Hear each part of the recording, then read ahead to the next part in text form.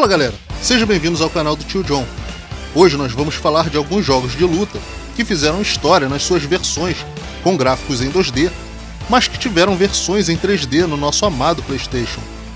São jogos de luta que fizeram a transição de gráficos desenhados para gráficos poligonais. Alguns ficaram muito bons, outros nem tanto. Vamos conhecer alguns destes games? Bom, galera, esse vídeo deu bastante trabalho para ser produzido, e por isso, humildemente, eu peço para que você já deixe agora o seu like, e caso não esteja inscrito, se inscreva no canal também, ok? Então vamos pro vídeo. Street Fighter EX-1 Lançado em 17 de julho de 1997, exclusivamente no PlayStation 1, Street Fighter EX Plus Alpha foi desenvolvido pela Arica e publicado pela Capcom.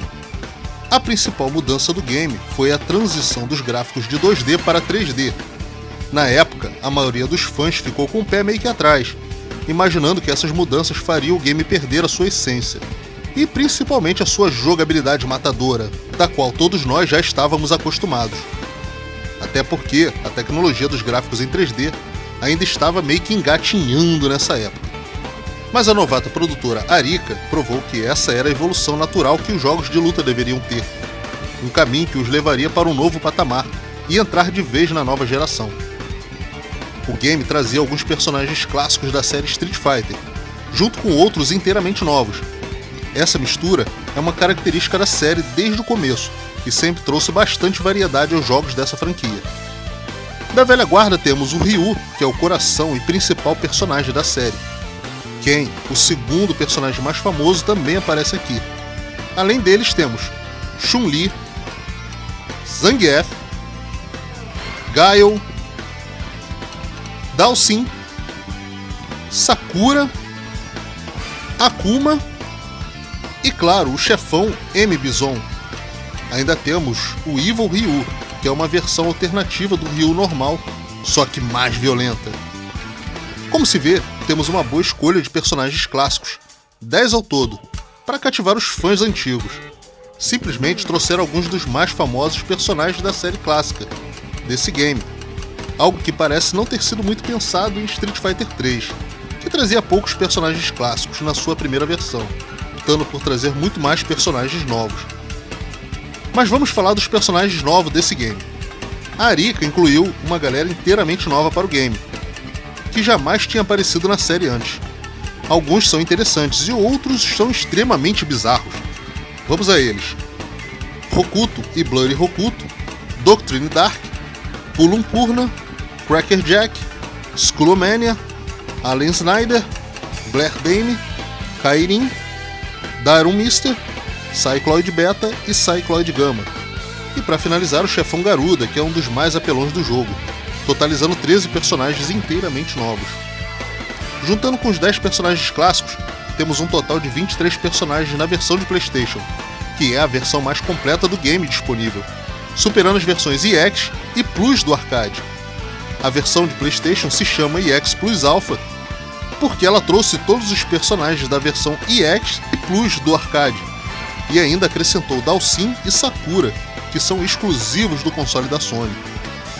Vamos falar dos gráficos, que foi o que mais chamou atenção na época, por causa da mudança. Bom, os gráficos são bons para sua época.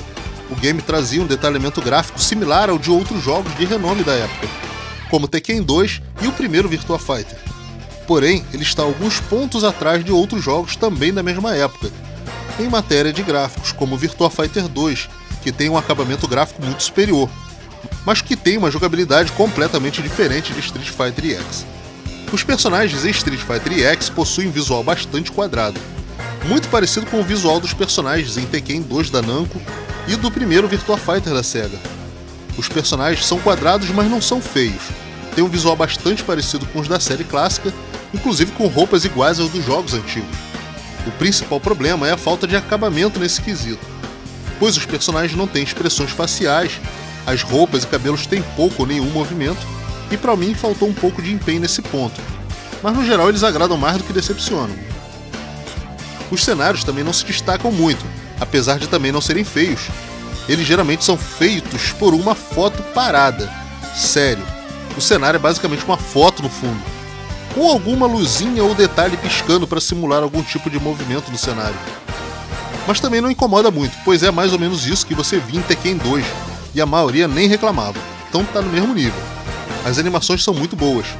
É claro que isso se deve ao fato do game ter sido construído com gráficos poligonais e com captura de movimentos de pessoas reais, que economiza memória, diferentemente de games antigos, feitos com gráficos desenhados à mão, que consumiam muita memória. E no caso do PlayStation 1, geralmente tinham que diminuir a quantidade de quadros de animação para poder rodar os games desse estilo no console. Mas o que a maioria de nós queria mesmo saber era como tinha ficado a jogabilidade desse game, nessa transição né, de 2D para 3D. Bom, a jogabilidade do game é muito boa. Os controles são precisos, traz uma ótima velocidade, mas sem exagero. Tem ótimos combos que saem com bastante naturalidade, facilitado ainda mais pelo sistema de cancelamento, onde é possível cancelar um golpe normal, como um Hadouken, por exemplo, por um ataque especial, como um Shinko Hadouken. Isso aqui é chamado de Canceling. Temos também o Super Canceling, que consiste em cancelar um super ataque especial, aquele que gasta uma barra de especial, por outro super ataque especial, desde que não sejam o mesmo ataque especial. Para isso, você também precisa que haja barras de especiais suficientes para que você dê dois especiais seguidos. Isso é uma adição bem interessante, que depois foi vista também como uma opção habilitável no Street Fighter 3 Third Strike do Dreamcast. O game também possui outro recurso chamado Guard Break, que, como o nome sugere, é um golpe que abre a defesa adversária. Esse golpe não pode ser defendido e gasta uma barra de especial. Ele é feito apertando os botões de soco e chute forte juntos. Temos três níveis de especiais, como na série Street Fighter Zero, onde apenas enchendo as três barras temos acesso aos especiais mais fortes. As músicas, vozes e efeitos sonoros são muito bons, todos eles com bastante qualidade e agradáveis de se ouvir. Algumas músicas são bem marcantes, outras funcionam mais como músicas de fundo, mas nenhuma é ruim de todo, na minha opinião. Para finalizar, Street Fighter EX Plus Alpha é um ótimo game para o PlayStation 1. Sua ótima jogabilidade definiu os padrões básicos que seriam vistos nas futuras versões em 3D que saíram muito tempo depois, e até nas versões em 2D que se valeram de alguns conceitos estabelecidos aqui. Os gráficos podem estar até datados, mas com certeza o principal, que é a sua jogabilidade, é muito sólida. E ainda temos hoje em dia um jogo divertido e bem inovador para sua época. Vale a pena conferir este game e também a sua sequência que veremos agora. Street Fighter EX2 Plus, lançado para os arcades e para o PlayStation 1 no finalzinho de 1999, a sequência de Street Fighter EX Plus chegou trazendo poucas novidades. O game trouxe de volta todos os personagens da versão anterior, com exceção de Hayate, que foi cortado no arcade, mas que voltou como um personagem secreto na versão caseira do PlayStation. Além dele, Nanaze, Vulcano Russo, Arya, Vega, Blanca e Sagat são as caras novas a estrear nessa série.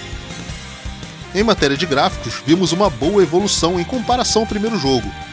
Personagens parecem bem mais polidos aqui, e assim como o primeiro jogo, os gráficos são bastante agradáveis de se ver, com os personagens usando roupas bem parecidas com os dos jogos em 2D. Os cenários de fundo continuam bem simples, porém também são bem legais, e usam alguns truques de câmera para simular uma visão 3D do cenário. A jogabilidade também não apresentou muitas inovações, trazendo todos os golpes e combos do primeiro jogo, com a adição do comando Excel, que na prática é uma espécie de custom combo, igual ao visto em Street Fighter 02, onde podemos executar um movimento que permite fazer qualquer combo, linkando golpes com qualquer golpe ou especial durante um curto período de tempo, em troca de uma barra de especial, permitindo combos impossíveis do jeito tradicional e abrindo enormes possibilidades na jogabilidade. Outra adição na jogabilidade foi o Meteor Combo, que só pode ser executado quando as três barras de especial estiverem completas. Cada personagem possui um comando diferente para executá-lo, e esse golpe tira em média metade da energia do adversário se pegar. Usar isso é um bom jeito de se virar uma luta praticamente perdida. Para encerrar, o game é muito divertido, tem bons gráficos e sons, e a inclusão de Sagat e Blanca ao panteão de personagens foi uma sacada de gênio. Manter a jogabilidade do primeiro jogo acrescentando alguns novos recursos incorporou bastante o game, tornando esse um dos melhores jogos de luta do console de 32 bits da Sony. Não há muito mais para falar desse game, afinal ele é basicamente uma versão melhorada do primeiro game, o que não é de modo algum algo ruim, pois o primeiro game era muito bom, e esta série chegou ao seu auge neste segundo game, já que o terceiro game lançado no PlayStation 2 é, na minha opinião, inferior a este aqui. Mas isso fica para um outro vídeo. Samurai Spirits Warrior's Rage, lançado pela SNK em 22 de dezembro de 1999, exclusivamente para o PlayStation 1, Samurai Shodown Warrior's Rage é o sétimo jogo da franquia e causou muita confusão na época de seu lançamento por causa do subtítulo do game. A versão de arcade, lançada em 98 na placa Hyper Neo Geo 64, se chamava Samurai Shodown 64 Warrior's Rage, o que fez muitos pensarem que a versão para o PlayStation era um porte da versão de arcade. Na verdade, a versão de PlayStation era outro jogo, completamente diferente do arcade. A versão de PlayStation tem muitas diferenças em relação à série inteira. A primeira é que o jogo se passa em torno de 20 anos depois das histórias dos games originais e traz somente os personagens Hattori Hanzo e Raul Maru dos personagens antigos. Este último bastante envelhecido, com cabelos brancos e uma vistosa barba. A jogabilidade também é bem diferente dos jogos antigos, com um foco muito maior em golpes de espada, como em Soul Edge, e bem menos em magias. O sistema de lutas também traz novidades, onde as lutas não são separadas por rounds, Cada lutador tem apenas uma barra de vida, dividida em três níveis. A cada nível eliminado da barra do inimigo, esta diminui de tamanho até acabar completamente. É possível executar especiais explodindo a barra de energia e também enchendo a barra de especial localizada na parte de baixo da tela. As músicas são bem parecidas com as dos games antigos, inclusive com direito a temas clássicos de alguns personagens, como o de Nakoruru, que aparece no game durante algumas cutscenes na forma de uma espécie de fantasma, dando algumas dicas ou contando detalhes da história para os personagens. Os gráficos do jogo são bastante simples, com personagens com poucos detalhes, roupas com tecidos duros, bonecos bem quadrados, até mais que em Street Fighter EX Plus, e cenários planos em formas de fotos 2D, com um ou outro detalhinho para simular alguma animação. A jogabilidade é boa, mas sente falta de mais recursos e uma diversidade maior nos combos e golpes especiais. Parece um game meio minimalista nesse aspecto, mas no geral o jogo diverte e agrada, por trazer o sentimento de grande impacto das espadadas, coisa tradicional da série. No geral temos aqui um bom jogo, não é nenhuma obra-prima, mas vai trazer algumas horas de diversão para os fãs, que jogarão o game para zerar com todos os personagens, para habilitar cada um dos personagens secretos existentes no game. Fatal Fury Wild Ambition. Diferentemente de Samurai Shodown Warriors Rage, que teve versões diferentes para arcade e para o PlayStation, Fatal Fury Wild Ambition foi um game lançado para arcade da placa Hyper Neo Geo 64 e que depois foi convertido para o PlayStation. O game foi lançado nos arcades em 28 de janeiro de 1999, sendo um dos últimos jogos lançados para essa placa. E em 24 de junho de 1999, o game ganhou sua versão caseira para o PlayStation. Em 2007, ele também foi relançado na PSN, para o PSP e para o PlayStation 3. O game é uma reimaginação da história do primeiro game e traz alguns personagens clássicos dos jogos anteriores, como os irmãos Terry e Andy Boga, Joe Higashi, Mai Shiranui, Kim Capuan, Li Xiangfei, Raiden e além além dos chefes Billy Kane, Ryu Yamazaki e Gizzy Howard. Há também personagens clássicos secretos como Duke King e Ryo Sakazaki, esse como Mr. Karate.